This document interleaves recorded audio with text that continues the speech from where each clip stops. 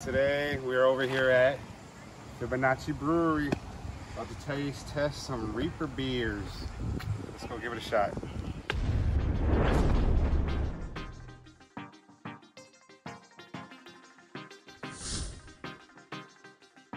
Here drinking beer, watching the goats and the chickens.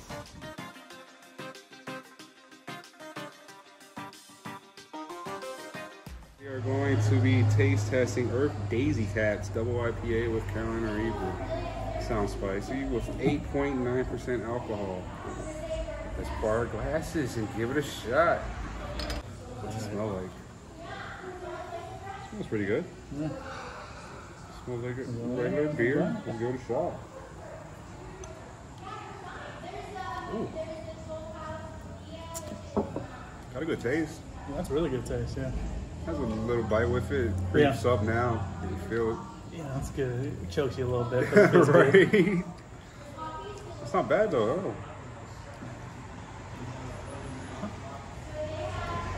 It's definitely a lot stronger than the beer we had at uh, Mount Carmel Brewery. Yeah. This one's about 8.9% alcohol, and it has, I think, a little bit more of a bite compared to Mount Carmel. But it's not all in all, it's not bad at all.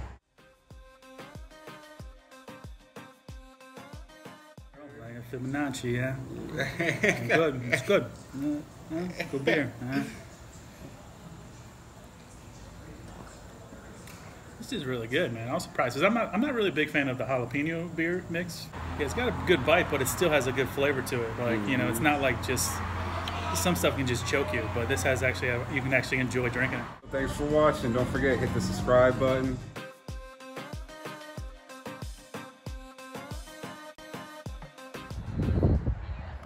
Alright guys, so we made it here to brewery number two, Fretboard, out here in Blue Ridge. Alright guys, we're here at Fretboard Brewery. We're about to uh, taste Chase the Devil. Two breweries, two beers. Beer number two with Brian. Cheers, good sir. It's uh, habanero with uh, chocolate and coffee. Uh, 10% alcohol's in it. Pretty good. I don't really taste jalap- uh, No to habanero in it, but Smells strong. Smells very strong. It's dark. Let's see what Yeah, it's tasting like. it's pitch black. Still good. It's I wouldn't good. really call it. Yeah, you got a lot of chocolate flavor in it. Not really much of the habanero.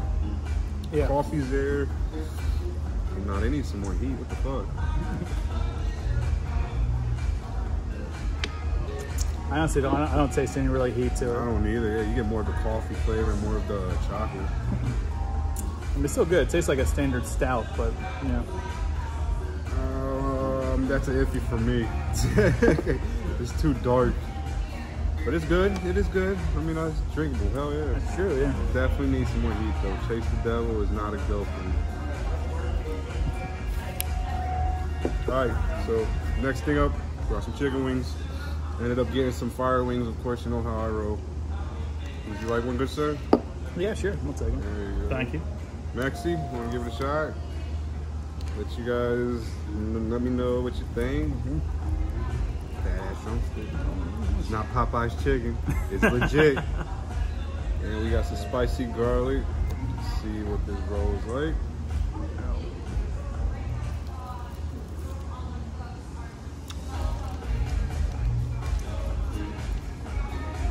Good flavor. Heat's definitely there, a lot hotter than the beer.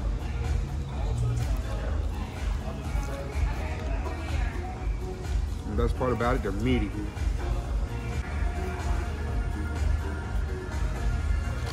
We got chicken cheese, scallions, fries, of course. There's some type of seasoning.